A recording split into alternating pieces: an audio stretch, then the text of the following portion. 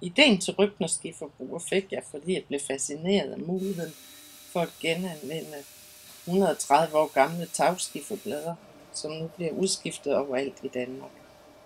Skifferen den stammer oprindeligt fra Wales.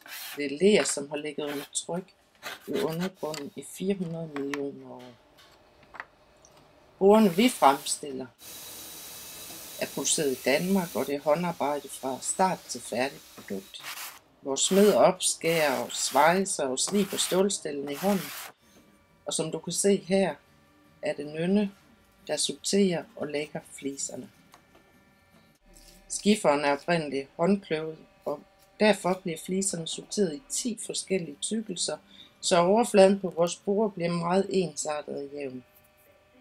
Hver enkelt flise, der bærer præg af hver vind, fortæller en historie, og det gør bordet unikt.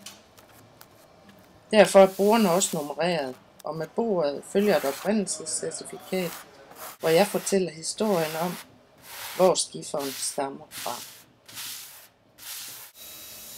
Man kan sige, at bordene er bæredygtige, i den forstand, at de holder til stort set alt. Er fremstillet af 130 år gamle genbrugsmaterialer, og sikkert holder de næste 100 år, vil jeg tro. Vi håber, du bliver rigtig glad for dit bord og tør bruge det til alt mellem himmel og jord. For det tåler det.